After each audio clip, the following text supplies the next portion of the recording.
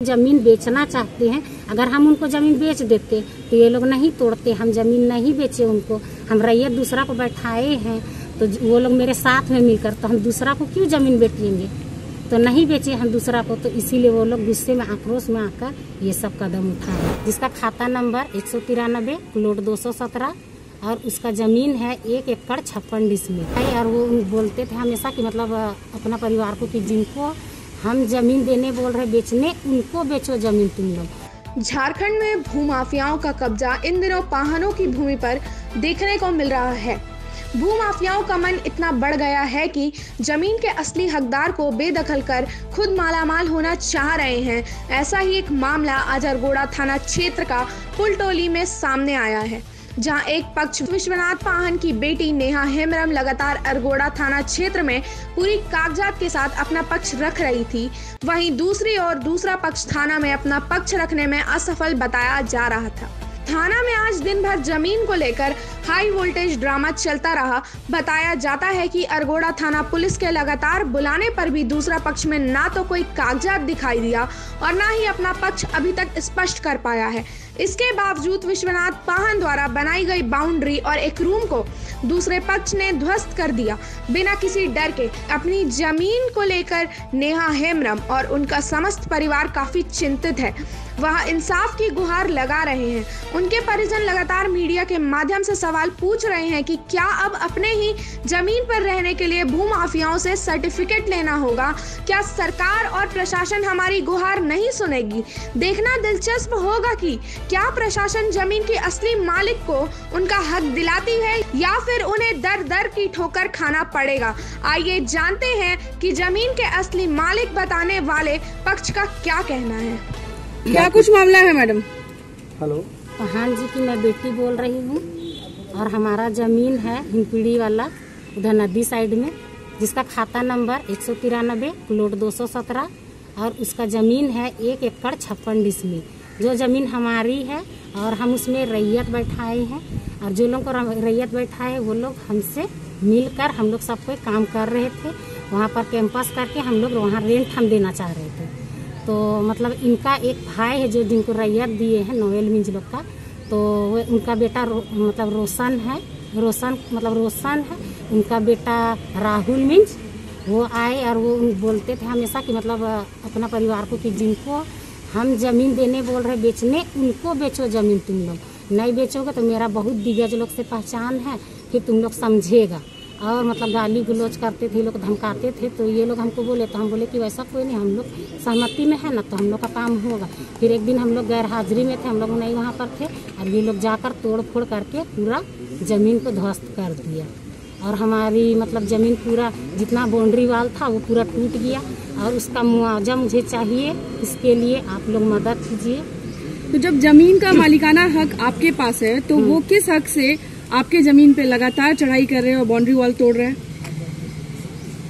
उनके साथ में दिग्गज लोग हैं। आप लोग तो खुद मतलब न्यूज़ में चल रहा है ये सब बातें। न्यूज़ में खुद बातें चल रही है। आप लोग तो जान रहे हैं ना। तो तो प्रशासन नाम से क्या गुहार लगाए हैं आप? इन्होंने मतलब ये सब कार्य करवाया है। नेता लोग दिग्गज लोग जो भी हैं वो लोग कर रहे हैं। तो आप लोग को खुद पता है। तो मैं किनका किनका नाम बोलो। हमको तो नाम भी नहीं पता है। अच्छा प्रशासन से क्या गुहार है? प्रशासन से ये गुहार है कि मेरी मतलब जो भी बाउंड्री वाल तोड़ा गया है उसको मतलब जाकर बनवा दे और मेरा जितना भी है ज़मीन उसको मेरा हैंड में दिलवा दे। हम अपना कार्य खुद कर लेंगे और मतलब जो भी मेरा हानि हुआ है हम लोग गरीब आदमी हम लोग को मुआवजा दिलवा दीजिए बस। और जो झंडा गड़वाया है ना उसको उखाड़ देने के लिए बोलिए क्योंकि वो सरना और मतलब क्या बोलते हैं अखड़ा नहीं है। वो हमारा पर्सनल ज़मीन है। जब बाउंड्री वॉल वहाँ पे हो रहा था तो उस टाइम में कोई ऑब्जेक्शन नहीं हुआ। और सारा बाउंड्री वॉल होने के बाद जो है आज बाउंड्री को जो है एक तरह से शरारती तत्वों के द्वारा गिरा दिया गया। हम्म। तो क्यों क्या ऐसा वजह है? ये लोग बताए तो अभी आप लोगों को कि मतलब क्या बोलते हैं ये लोग चाह रहे हैं कि जिनको ज़मीन बेचना चाहते हैं अगर हम उनको ज़मीन बेच देते तो ये लोग नहीं तोड़ते हम ज़मीन नहीं बेचे उनको। हम रैयत दूसरा को बैठाए हैं तो वो लोग मेरे साथ में मिलकर तो हम दूसरा को क्यों ज़मीन बेचेंगे? तो नहीं बेचे हम दूसरा को तो इसीलिए वो लोग गुस्से में आक्रोश में आकर ये सब कदम उठाए तो। मैडम अभी आप अरगोड़ा थाना क्षेत्र में मौजूद हैं तो प्रशासन को आपने क्या आवेदन दिया है?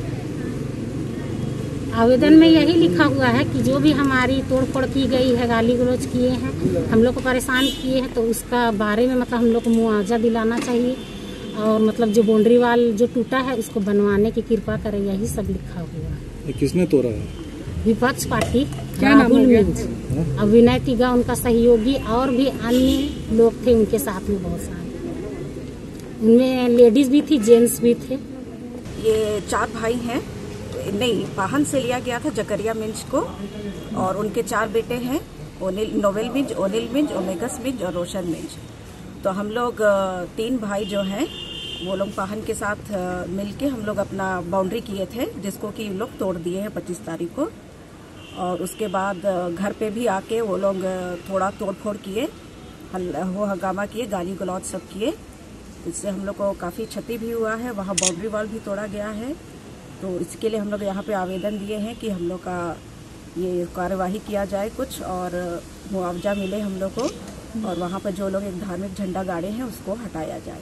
कितने समय से आपको परेशान किया जा रहा है? ऐसे तो जनवरी से जनवरी से परेशान किया जा रहा है। उसके बाद कुछ कुछ बीच में वो लोग करता ही था और फिर अभी 25 तारीख को इस तरह से वो लोग कार्यवाही किया। अपना परिचय बता दीजिएगा पूरा। मेरा नाम रेचल मिंज है। कहने का मतलब ये है कि गाँव के अंदर में जो है सरना एक ही होता है। अखड़ा जो है, एक ही होता है, करम अखड़ा। विवाद यही है कि जो राहुल मीन्स है, उनका परिवार को दिया गया था यहाँ पर रहने के लिए तो वो नहीं मतलब क्या बोलते हैं, उनका परिवार लोग तीन फैमिली रह रहे हैं, और ये चौथा बेटा है, जो छोटा बेटा, उनका बेटा है राहुल।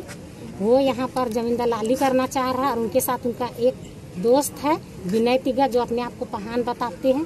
वो मिलकर दोनों लोग बेचना चाह रहे थे ज़मीन को हम लोग नहीं बेचने पहले हम लोग से पैसा मांगा ठीक है? पैसा नहीं दिए। तो फिर उसके बाद बेचना चाह रहे थे? और फिर बोले कि हम लोग को पैसा दीजिए। तो जब पैसा वो लोग डिमांड किए कि दस लाख चाहिए हम लोग को तो हम लोग बोले हम लोग क्यों देंगे? मेरा ज़मीन है। जब हम रैयत बैठाए हैं तुमको तुम रहो और जितना तक वहीं तक मेरा ज़मीन है हम उसमें घर बनाए कुछ भी कर रहे हैं मेरा ज़मीन है। लगा गाली गलौज करने लगा घर भी गए थे पच्चीस तारीख को पच्चीस फरवरी को। और हम लोग के घर में जाके दरवाज़ा तोड़ने चाह रहे थे बड़ा सा गेट है उसको और साबल से तोड़ रहे थे उसमें विनय तोड़ रहा था साबल से और राहुल बोल रहा था कि ऐसा ऐसा बहुत दरवाज़ा वहाँ पर तोड़ दिए दीवार को तोड़ दी थी छोटा सा दरवाज़ा क्या है तोड़ देंगे। कितने लोग थे कम से पचास से साठ लोग थे। धमकी भी दिया गया धमकी दिया गया है कि बाहर निकलो नहीं तो फिर तुम लोग समझ जाएगी देख रही है ना बोल के औज़ार सबको दिखा रहे हैं। फिर उसके बाद आज अभी प्लॉट पर आए हैं हम लोग तो वहाँ पर भी वो लोग बोल रहे हैं कि ये सामाजिक ज़मीन है जबकि ये मेरी अपनी ज़मीन है और ये लोग कब्जा करने के लिए दलाल लोग मिलकर हम लोग को गरीब लोग को दबा रहे हैं और हम लोग का ज़मीन लूटना चाह रहे हैं। पता नाम नेहा है अपने राज्य से जुड़ी हर ताज़ा खबरों के लिए आप हमें सब्सक्राइब करें साथ ही बेल आइकन बटन दबाना ना भूलें।